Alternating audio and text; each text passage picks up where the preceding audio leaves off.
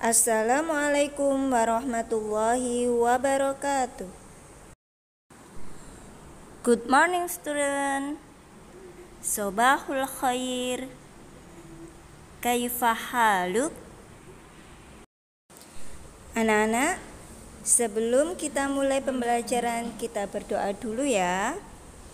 Raditu billahi rabba wa bil islami dina wa bi muhammadin nabiyya wa rasula Rabbi zidni ilma warzuqni fahma amin ya rabbal alamin Anak-anak, sebelum kita mulai pembelajaran, kita murojaah dulu surat Al-Infitar ayat 13 sampai 15. A'udzu billahi minasyaitonir rajim.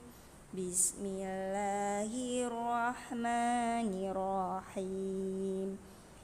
Innal abrara lafi na'im wa innal fujjara lafi jahim yaslaunaha yaumaddin sadaqallahul azim Anak-anak sudah tahu huruf nun sukun?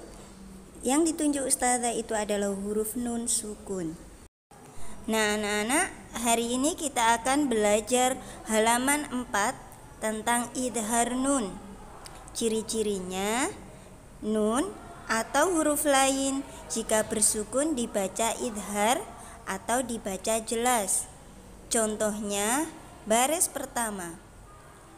Watawalla anhum sampingnya min azwajikum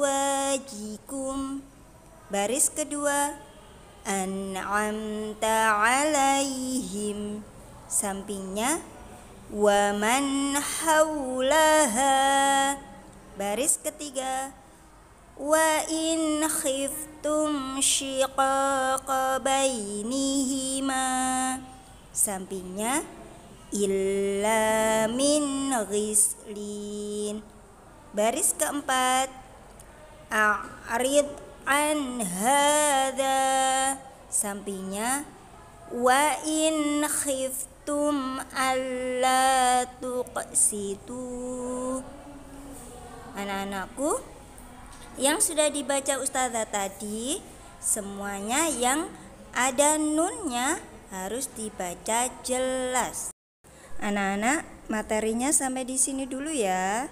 Doa penutup majlis.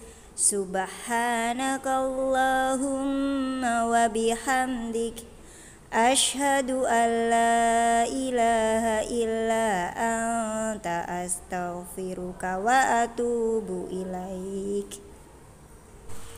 Okay student, don't forget to pray on time. Don't forget read Holy Quran. Don't forget obey your parents. Don't forget to study hard and be careful. Wassalamualaikum warahmatullahi wabarakatuh.